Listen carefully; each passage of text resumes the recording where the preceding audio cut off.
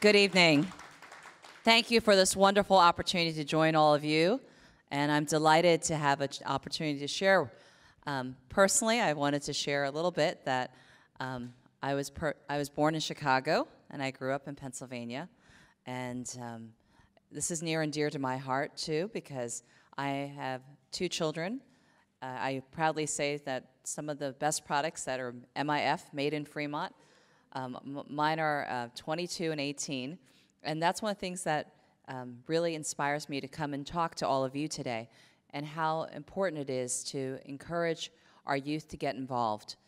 Um, so as I was saying earlier, I was born in Chicago and grew up in Pennsylvania, and at that time period where I grew up, it's outside of Philadelphia, and it's so different than what you see maybe in your cities. I don't know because I, kn I know they're coming from all over the United States. But literally growing up, you would have said to, to some of the school classmates, the Chinese girl. And they'd be like, the Chinese girl? Uh, Lily. And so my brother was the, the Chinese boy. And so it's very different. And at that time period, it was also the Vietnam War. And so we've talked about a little bit about the judgment that people have on Asians being um, spies if you're involved in technology or other stuff. But also at that time period, for myself, it was very frustrating as a student to have no other issue than we're walking down the class and people assume right away that I'm Vietnamese or that I'm coming here as a as an immigrant or a refugee or the, the judgments that are being ca cast. And so as a result, um, for myself as a kid, I've been stuffed in lockers, I've had my tires slashed. I've had my windows shot out with BB guns, not, not real bullets, thankfully, but still, it's very traumatic to, to a child to wonder why am I being picked on or why I'm being judged. But I'm thankful for those experiences in some ways because now it allows me some greater empathy to understand why it's so important for me as a leader to speak out to ensure that all people in our community are feeling welcome. And that's one of the things that um, is a platform that I think I encourage all of you to embrace, and that's what we're talking about today. But a little bit about my journey and how I got involved. So, as um, it was mentioned earlier, I was an intern, and in my high school in Pennsylvania, we had a program called Career Elective, and it was an opportunity where when you finish, um, before you go graduating, to go out and find an internship in the area that you'd like to explore. And sometimes you don't realize when you're taking these internships, and I ask that you think about that as a student too. The job that you get may not be the one that you think you know you wanted or you were seeking. So, I uh, was in computer science club, and I thought I wanted to be in a job with programming or coding, but yet the job that I ended up in was in marketing. And um, at that time, they had me doing RFPs and filing. And when we said inbox, you know, unlike the one that you have on the computer, my inbox literally was one where you had to stuff things in the box and made photocopies. But it allowed me the opportunity to teach me how to deal with people, how to be able to be confident and to work with others. And I will tell you that you have an advantage as an intern and to make sure to take advantage of that because I think people find it refreshing to look at the youth. Most people are very excited to have the opportunity to work with the youth and are open and much more friendly. Sometimes as they get older, um, it becomes more jaded. But when you're a youth, it's very welcoming. So I had an opportunity to work for the marketing department. But after that, I was thinking to myself, you know, that's not just it in terms of experiences. I wanted to continue that opportunity, and um, I was fortunate enough to be able to secure a job with them full time um, in terms of, you know, for the summer. And I was the only child that was there, or the intern that was there, that was not part of a either corporate tie or a, a parental tie of other sorts. But it gave me great hope in talking to other students to see what types of programs and opportunities are there. Um, there are internships, and I have to tell you, that, that helped me shape my decision later on as to what university to go to. I ended up um, choosing Drexel University, and it's a co-op program. And the reason why I like co-op programs, I saw someone cheer for that, is that unlike other universities where you're just studying, it's a five-year school. And three and a half years I was in school, but I had three half-year internships. And each one gave me a chance to decide, maybe this is some area that I'd like to explore. And one of my first internships was working for um, IBM 9X Business Centers. I, I want to talk about that a little bit today and why it's important to stand up. And I wish that at that time I had some advisors. Um, coming from being involved in the schools, as I mentioned earlier, I did not mention that um, by the time I graduated high school, I had actually had a semester of college completed too. it's, it's another long story. I'll tell you that some other time. But I had a semester of college completed when I came out of high school. And um, that allowed me to get paid a little bit better. But being new and young, you don't think about that. And so I had colleagues at that time who asked me, you know, um, what is your pay? And being young and naive, I actually told my classmates what my pay was. And so, because of the experiences that I had, I was compensated differently. But what I found out was surprisingly is not only were they unhappy with that, but they specifically then focused on me as an Asian and trying to put, point out things. And it got to a point in the end where it was surprising to me to be uh, told that, you know, we thought you're Asian and we thought you're a nice conservative little Chinese girl and you'd be here early in the morning polishing paper clips. And I probably shared a little bit of where to stick the paper clips that ended up in me not returning to the job. But you know, at that time, I wish somebody had told me that there are certain things that are rights for a student, that you have to be treated with respect, that you can't have this type of discrimination, or how to handle this type of this incident. So I think those types of incidents, um, while there's good internships and there's bad internships, you learn from those, and you learn how important it is for someone to have someone at the table. Um, other internships, I was going to say that I think that helped shape me is I worked in Asia um, for half a year in Taiwan. And I would encourage all of you, if you've never had a chance to study a foreign language, to take a chance to learn more about the cultures and heritages that you come from, as well as those that you'd like to work with. Um, that will never hurt you, I think, in terms of opportunities. And that's why I love the Poly program or other programs where they have opportunities to learn about other cultures and languages. And so I lived half a year in Taiwan. And back then, uh, for people who remember the transportation systems at that era, there was no jieyun, which means that I was standing um, on a bus almost every day, going back and forth on work almost for four and a half hours. And so it taught me endurance. It taught me that when I first got there, how important it is to learn the language. And that um, at first I memorized bus numbers, and then I realized, oh, darn, sometimes I ended up on express routes and so it's important to, to, get involved. And then back then in Asia and Taiwan at that time, I was staying at my grandmother's house. And it's not like TV now where you have all kinds of live streaming or other choices. There were only three TV stations. And since my commute was so long, I thought, well, let me make some extra money. And one of the best ways to be involved in the community is I taught English at a university. And it, again, this is a situation where you walk in, and much like other students, I think that when you get there and you've seen like classrooms where you have substitute teachers or other stuff, they're like, oh, this is a chance for us to see what kind of teacher they have. And I taught a speech class in adult school. And when I first got to the class, I was observing the teachers and how it's just, you know, you repeat one another, but in terms of the teacher will say something and the, the student says something back. But that's not how real life works. And I think that teaching students um, how to deal with the real dialogue and conversations is important. So I ended up taking a totally different approach, and that's what I'd ask for you to sometimes use your own skills to approach different um, lessons. And so for me, I took them out to karaoke, I took them out to order pizza, I took them out to real life lessons because I felt that that would make them better students.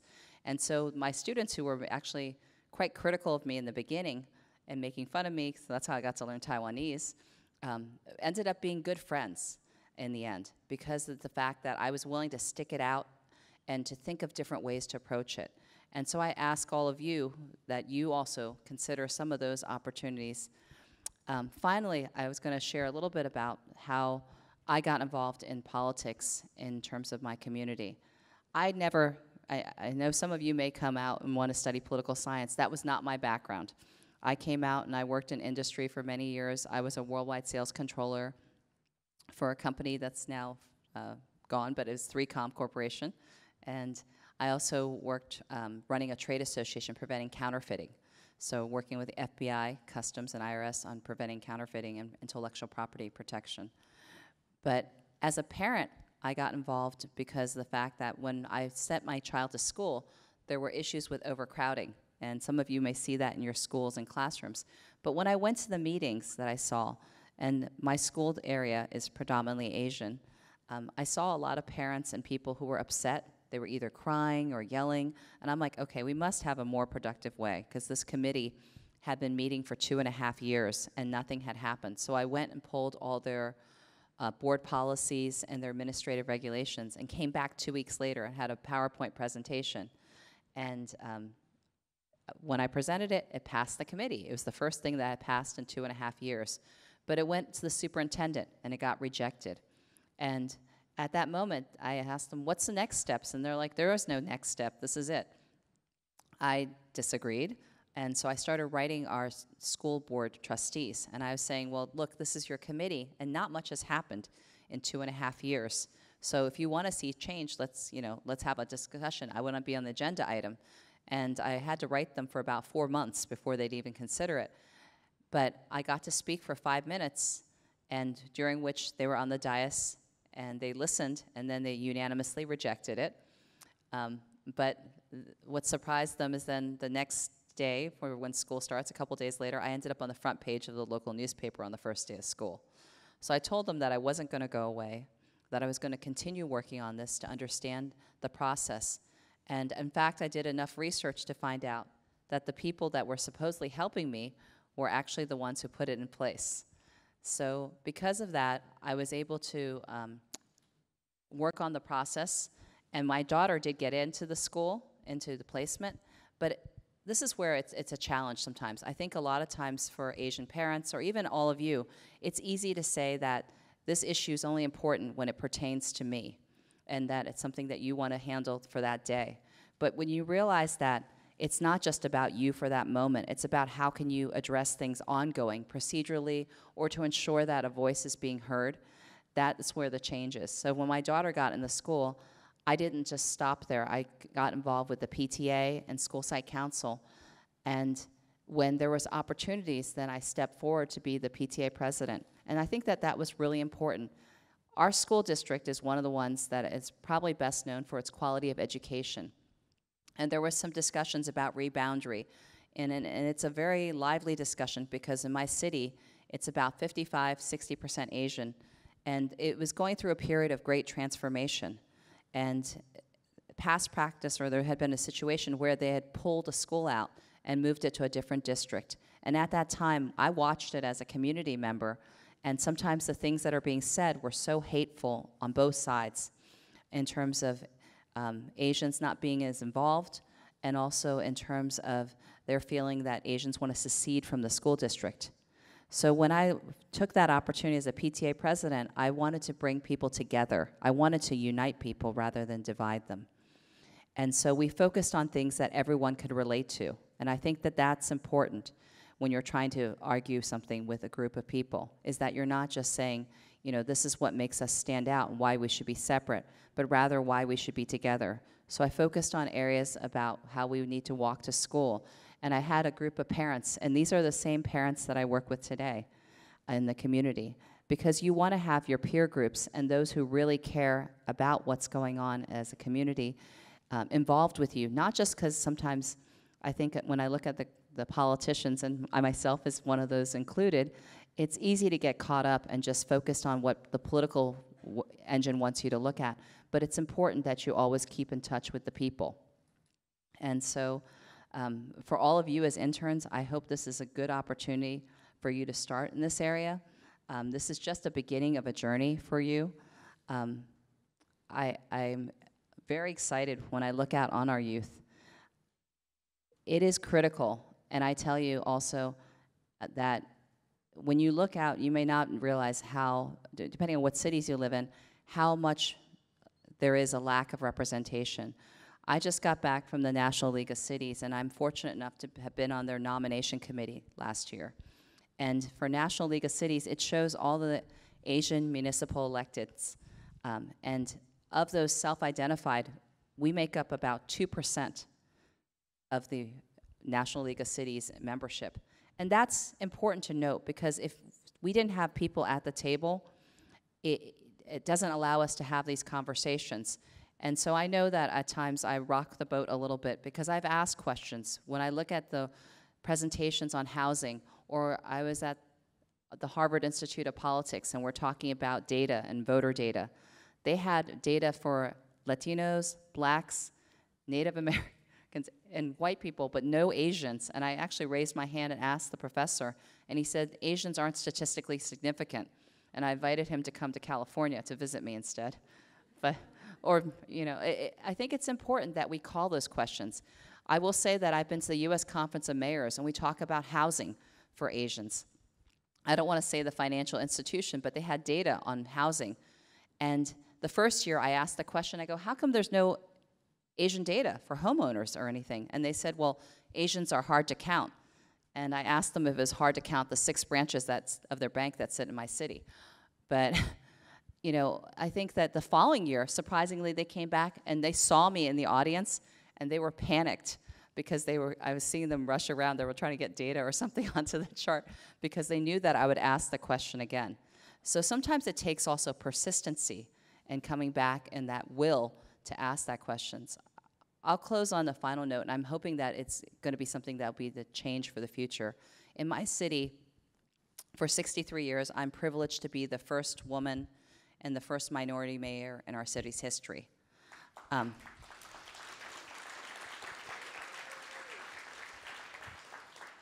But, but I'm also surprised just a few months ago for um, Women's uh, Leadership Heritage Month that I was surprised to learn from APACS when they had the data of, or the people they were profiling. I was looking at it and I was like, that can't be correct. One of my friends sent me a picture. And in the US history so far, for mayors that are, for large cities that are directly elected, there have been four Asian women in the US history. One was uh, Mayor Sato of Long Beach, Mayor Jean Quan of um, Oakland, and I guess I was the third person in the US history, and then Mayor uh, of Bakersfield. But I would love to say that that's not the case. Right now, even in the United States, believe it or not, for the large cities that are bigger than 100,000 people, and for directly elected mayor, there are 10 women of color. And so I really hope that that changes Part of it is programs like this, and that's why today, uh, please take advantage of this opportunities for the students to consider roles and opportunities. You don't have to be a, a, politician, but take a stand and to make your voice heard and to be part of the solution and not just the problem. And I also encourage the leaders that are here, because you guys are already working with um, the students and in your communities. Don't just work on this program, but encourage others, your peers and yourself, you don't have to necessarily run for office. You can be involved in commissions. You can be involved in your community in other leadership roles. But to make a choice, and that's what I think um, Michael was talking about, Dr. Dr. Chang was talking about earlier, is how important it is for you to make sure that we're heard. Because if we don't speak up, I think people do assume oftentimes that Asians are really quiet, Asians are really meek, they don't unite, and they don't work together. And that's where I think that that rhetoric is, is something that I'm very proud to be able to change. Not in a way that's just yelling or um, being negative, but in a way that's thoughtful. And then they recognize the strength and the power in your logic, in the fact that you have organization. And that's what I see when I look at the Jewish organizations as well as the, the other ethnic-based groups, is that they've been able to work with each other for a long period of time, and that change is what you need to be part of in the future. So I look forward to hearing back for all of you in the future on what great things you've done. I've seen Evan Low since he was a student, and he was actually the MC at our, our events, at, I think, for the dinner. And in you, I'm sure there's going to be some great leaders, and I can't wait to hear your stories. So congratulations. Thank you for joining tonight. I'm looking forward to being part of your journeys and to help you where possible.